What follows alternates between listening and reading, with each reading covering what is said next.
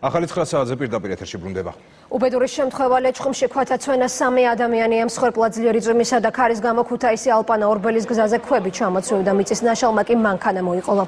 ავტომობილში გზის მშენებლობაზე დასაქმებული მუშები იმყოფებოდნენ, რომლებსაც საგზაო მონაკვეთზე საწვავი გადაჰქონდათ.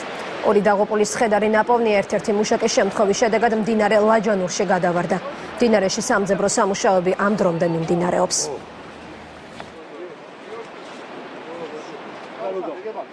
ადგილზე მისულებს დაგხვდა ორი უკვე გვამი, ერთი ჯერჯერობით ვერი ნახა, სავარაუდოდ ჩამოიგდრა კლდე, რომელიც დაეცა დიდ ავტომობილს, ავტომობილი გადავარდნილია ხეობდინარის ხეობაში და ეს ორი გვამი ადგილზეა, ერთი ეძებს სამაშველო ბრიგადები გამოსულია და ეძებენ უკვე